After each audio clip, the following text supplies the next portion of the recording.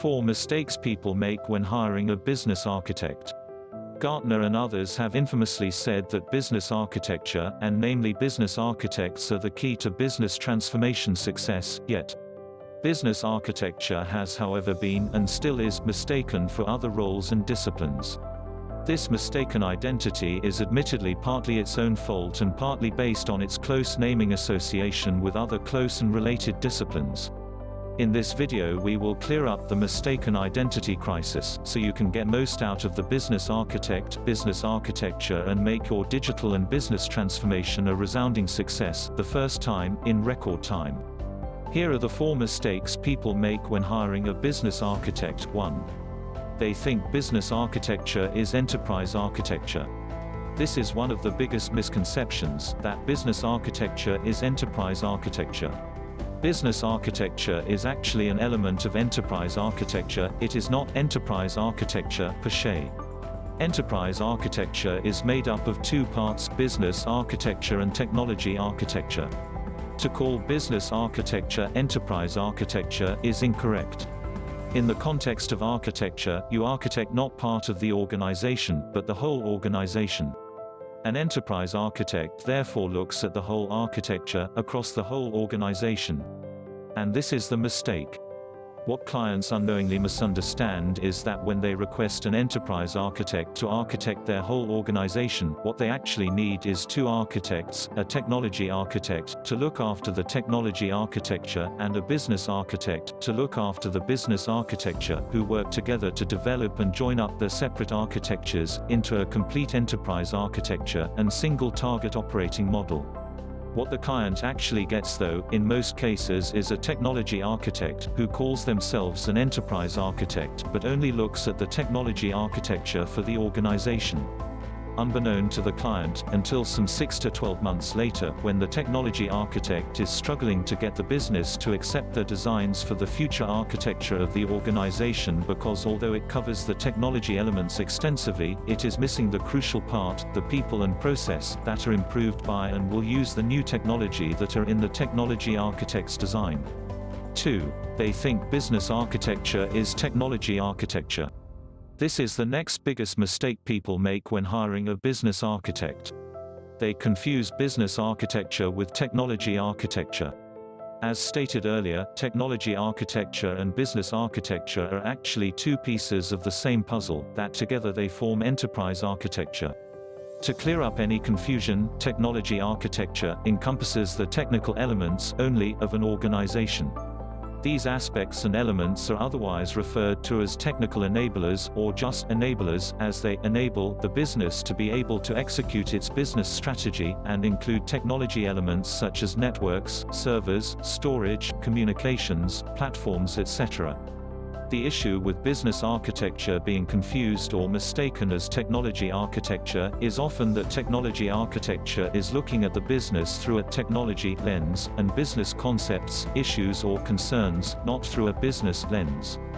The cause of this misrepresentation comes from two areas, historical emphasis on the technology side of enterprise architecture, from the development of the Zachman framework in 1987, and later with TOGAF and others as setting the foundations of any architectures that we designed to support an IT strategy. Then the next cause of this confusion is that enterprise architects themselves usually come from a technology background, as either an application, solution, information or data architect, IT project lead or developer. So, when they perform business architecture activities, they do so using a technical lens, seeing and believing all business concerns, problems and issues can be addressed and solved by a technology solution and in a lot of cases, a technology solution alone, which in practice is not always the case, and doesn't always work, hence the high failure rate in transformation programs. 3. They think business architecture is business analysis. The next biggest misconception about business architecture is that business architecture is business analysis, which also includes the misconception that a business architect is a business analyst both in terms of the role they perform on the program and the activities they do. Although both activities and roles are related, even sharing similar tools and techniques, both are necessary in developing the design and implementing the target operating model TOM. They differ in the following ways. They have a different focus. Business architecture's focus is on the planning, strategy, and long-term time horizons. It also takes place earlier on in the program life cycle, helping set and define the direction of the organization and program. They help the business determine the business strategy and answer the big strategic questions like, is there a hole in that market, and a market in that hole?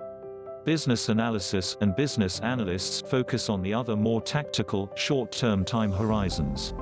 In terms of the program lifecycle, business analysts are usually involved later in the business and project lifecycle than business architects, once the market in the hole has been determined. Business analysis and business analysts help the business develop and implement the solution, now that the business architecture has given the green light i.e., there is a hole in the market and this is how we can compete. They operate at a different organization level. Business architects operate at the organization or strategic level, whereas business analysis generally work at the lower operational, implementation levels.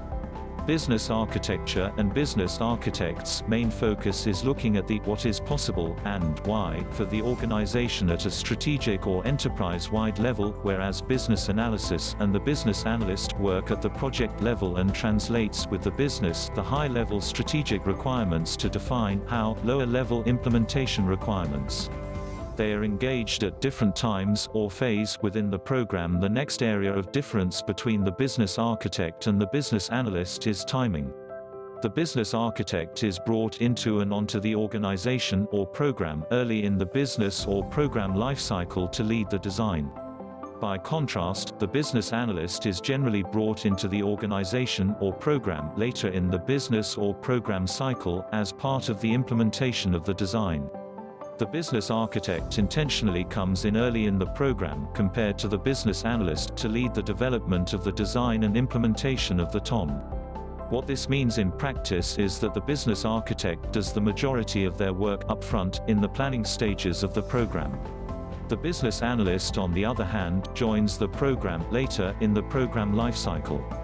This is after the business architect has agreed with the business the vision and business strategy that the analysis of the current operating model, and planning the design of the target operating model TOM, can begin.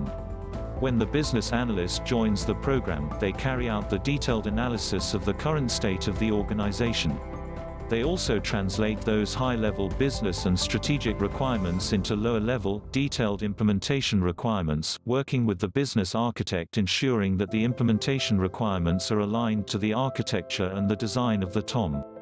They share similar tools, but use them differently. The fourth area of difference between the business architect and the business analyst is in their different use of similar tools. The business architect and business analyst share some common tools and techniques but use these tools differently. Just like a weightlifter and a bodybuilder use weights in their respective disciplines, the outcome of using these same tools is very different. One is focused on strength, the other on aesthetics. These differences are mainly due to the differences in focus, as in how they use the tools, and who they use them on. One example is impact and gap analyses. The business architect will carry out a gap analysis on existing business capabilities, to assess their ability to meet future strategic objectives whereas the business analyst will use gap analysis to assess the differences and changes required between existing current processes and the proposed future processes as part of the proposed future operating model. Just because a business architect uses the same tool or technique as a business analyst, doesn't make the business architect a business analyst, and vice versa, but hiring a business architect to do implementation requirements is not the right resource for the job, as is hiring a business analyst to design the target business architecture. The scale of change they deal in is different.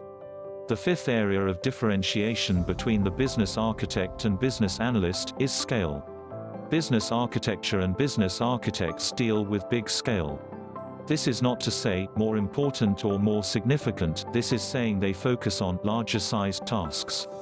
To use the analogy of renovating a house, if you are a homeowner renovating the bathroom, you have two options, you can do it yourself or bring in an expert. As it's only a single room i.e. relatively speaking it is not physically that big compared to the overall size of the house, it doesn't impact too many other rooms by changes made inside it i.e. low interactions and dependencies on other rooms, particularly the structure of the house.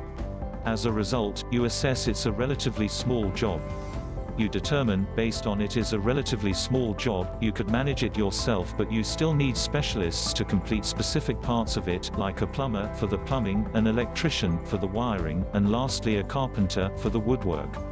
If on the other hand, you're renovating the whole house, from front to back, top to bottom then all the rooms would be impacted, not just the bathroom, of the small job example above. As a result, you would likely think you only had one option unless you're a master builder and that would be to bring in an expert.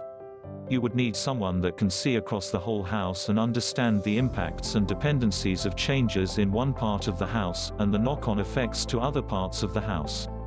You're also thinking of removing a few walls to open up the living space which adds a new level of complexity and risk, and these risks need to be managed you need someone to come up with the design and manage the implementation of that design, factoring in the dependencies and impacts of changes in one part of the house with timing of changes in the other.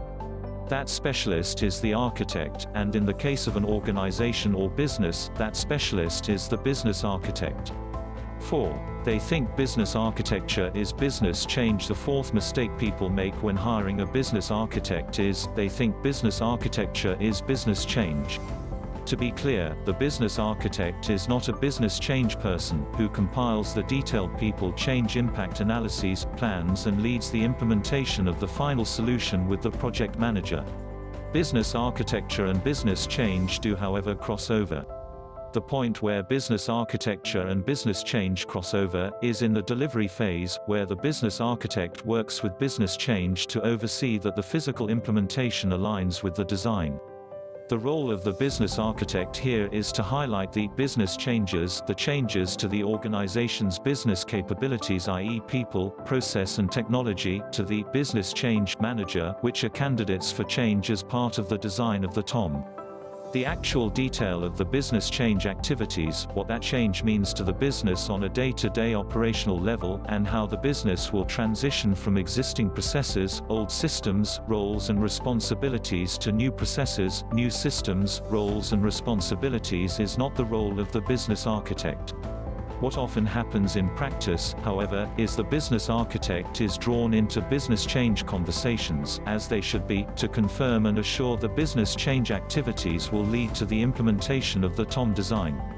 But this is where the confusion sets in, the business architect is inadvertently tasked with coming up with the above-mentioned business change plan and activities due to the familiarity with the subject matter, having also come up with the design. Business change, however, is a specialist skill set, with its own frameworks, tools and techniques, as is business architecture.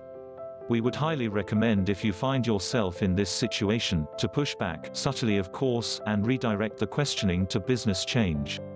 To avoid these mistakes, it is essential that you clarify with the client as part of the pre-engagement conversations clear expectations on the differences between business architecture and mostly technology architecture and how these two architects and architectures work together, or if your program is underway, clarify roles and responsibilities as part of the governance framework.